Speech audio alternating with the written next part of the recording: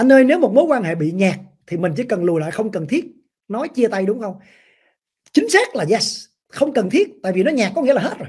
Một người phụ nữ trong quá trình hẹn hò nha, mà nếu như mối quan hệ nhạt thì là cái mối quan hệ đó không tốt được thì mình phải chọn. Nó đến từ cái nguyên tắc gì biết không? Anh ta không làm mình vui được. Anh ta chứng minh làm cái cuộc sống ở trong thời kỳ hẹn hò mà anh ta không chứng minh được điều đó. Qua cái việc nhạc á, thì mình không chọn người đàn ông. Này thôi, chỉ có vậy thôi. Nên nhớ trong quá trình hẹn hò, các bạn là người được quyền chọn phụ nữ thường hay không làm được điều đó. Tại sao biết không? tại đổ sớm quá, tại khập khiển, tại lụy tình, tại tổn thương, thiếu kiến thức quan hệ tình dục sớm, nói chung bị áp lực đủ kiểu do cái phiên bản của các bạn mà nó đúc ra những cái hành xử sai theo nhiều kiểu khác nhau, hoặc là nhiều kiểu cộng lại khác nhau. Và rồi, khi đã sai rồi thì nó ra một cái hậu quả là bị phụ thuộc. Phụ nữ mà hành xử sai xong dễ bị phụ thuộc vô cùng luôn. Khi đã bị phụ thuộc rồi thì không còn làm gì đúng được hết khi mà đã vào trạng thái phụ thuộc là tiêu mẹ nó rồi, là sẽ phải đau, không làm gì được hết. Đi đâu tới tới tàn tạ luôn đó, có những người đâu tới tàn tạ luôn á. Đường tương trao tàu hũ dưa leo luôn á. Đi tới cái mức mà coi như banh xác luôn. Nhiều khi còn chưa nhận ra. Cho nên cái người phụ nữ nó đơn giản là cái cuộc sống tình cảm đơn giản từ kỳ hẹn hò tới đấy. Các bạn phức tạp hóa lên. Nó đơn giản nè, mình là một người phụ nữ thăng bằng, vui vẻ, hạnh phúc, nữ tính, dịu dàng. Không? đàn ông tới tìm mình sàng lọc. Sàng lọc quá gì quá quá trình hẹn hò đó. Sàng lọc và được chọn đó, chứ sàng lọc là có quyền được chọn. Thì mình chọn người đàn ông đẳng cấp nhất, đúng không? Rồi sau đó mình tới hôn nhân là vì cái người đàn ông đó là người đàn ông yêu mình. Mình sàng là phải sàng ra trai yêu mình, chứ không lẽ sàng ra trai ghét mình. Một người đàn ông mà yêu mình nhất, lại đẳng cấp nhất sau nhiều người mình chọn, thì sẽ là cái người mà nền tảng tốt nhất để xây dựng hôn nhân. Rồi về hôn nhân thì xây dựng cái hôn nhân đó với người chồng của mình một cách tốt đẹp. Nói ra chỉ có chừng độ phúc hồi vậy thôi. Nhưng mà thường không được là vì sao biết không? Là vì ở trước cái thời kỳ hẹn hò đó là phiên bản tài leo học me. Phiên bản là hoặc là nhiều thái cực khác nhau.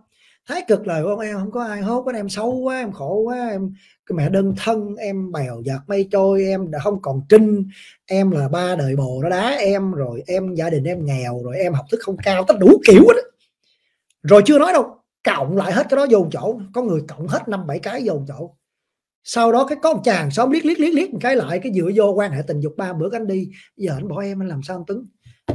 Anh nói anh lấy cái kiến chiếu yêu anh chiếu ngược lại quá khứ, em nói em tiêu mẹ từ cái thời trước khi vô mối quan hệ rồi. Thay đổi cái đó đi. Khi thay đổi cái đó rồi thì mọi việc nó đơn giản hơn rất là nhiều. Đúng không? Một người phụ nữ giá trị nè, bình an, nữ tính, hạnh phúc.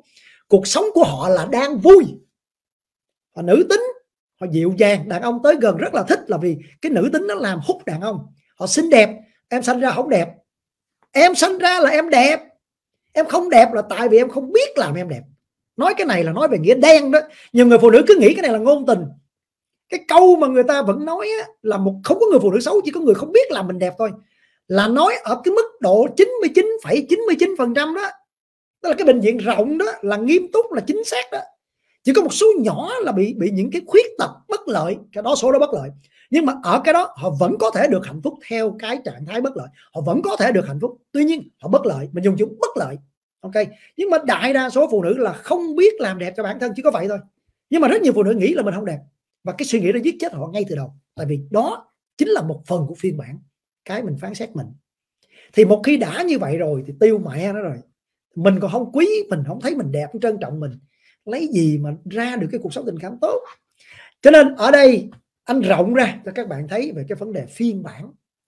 Mối quan hệ em và anh ta bị hư vì quờ hờ tờ giờ và em hành xử sai.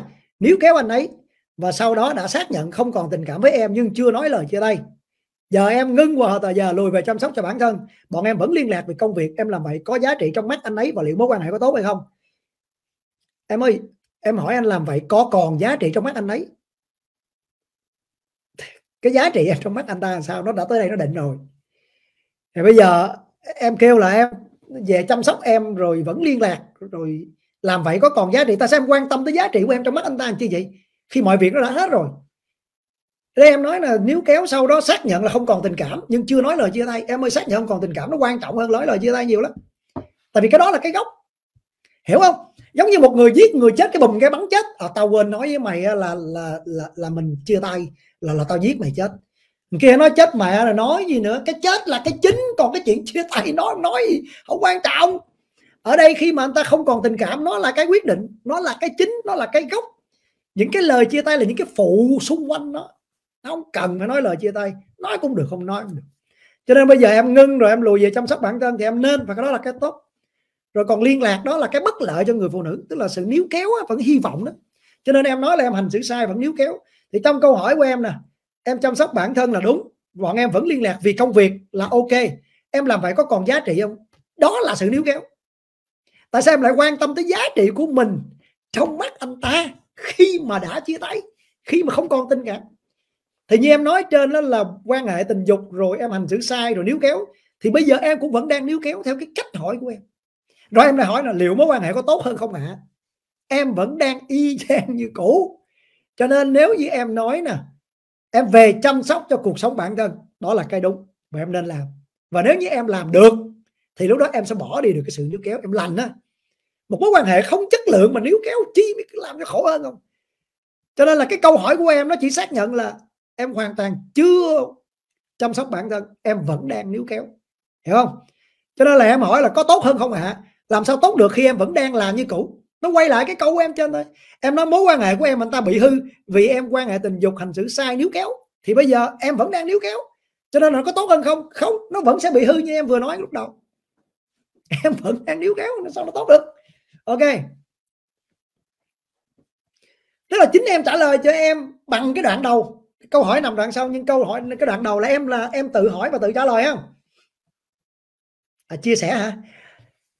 Chia sẻ cho thầy đi. Nói nhớ lộc phụ hồ. Tôi, tôi coi ông đây có mấy lần cái thôi cái livestream của ông tôi coi có mấy con đoạn đó tôi mắc cười chết luôn. Ờ, youtube lâu lâu đưa cái tên lộc phụ lộc phụ hồ. Không để giấu cái vẽ là cái sẻn cái xe rùa. Có khi nào đàn ông không dành thời gian tìm kiếm một người phụ nữ để yêu dù chỉ là một mình và chỉ lo sự nghiệp không anh?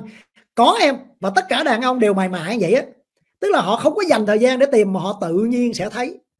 Trong cái quá trình cuộc sống của họ họ sẽ thấy. Cũng có những người đàn ông chủ động đi tìm tình cảm, có. Nhưng mà đại đa số đàn ông, cho dù đi tìm hay không đi tìm thì họ cũng bụp. Họ cũng phải vào trạng thái rung động như một cô gái. Tại vì ở trong cuộc sống là tìm vô thức. Có người đi tìm mà không ra, có người không đi tìm thì lại tới. Cho nên là cái câu hỏi của em là đàn ông có dành thời gian tìm kiếm không? Sẽ có người có có người không. Tuy nhiên điều đó không quan trọng, không ảnh hưởng và cho dù người ta tìm một cô gái, không tìm cô gái, thì người ta vẫn có thể lo công danh sự nghiệp. Người ta không tìm cô gái, người ta cũng lo công danh sự nghiệp. Người ta tìm cô gái, người ta cũng lo công danh sự nghiệp. Người ta có vợ, người ta cũng lo công danh sự nghiệp. Người ta không có vợ, người ta cũng lo được. Tại vì cái phần công danh sự nghiệp nó hoàn toàn chẳng có bị ảnh hưởng bởi cái người phụ nữ. Ok không? Nếu bạn coi cái video này tới đây mà thấy có giá trị á, thì bạn nhớ bấm vào cái nút màu đỏ là nút đăng ký kênh. Còn ở tiếng anh đó là chữ subscribe. Sau đó là hiện ra cái chuông, bấm vô cái chuông luôn mỗi lần có video mới, bạn sẽ được báo. Hẹn gặp lại các bạn ở những video sau nữa. Bye bye.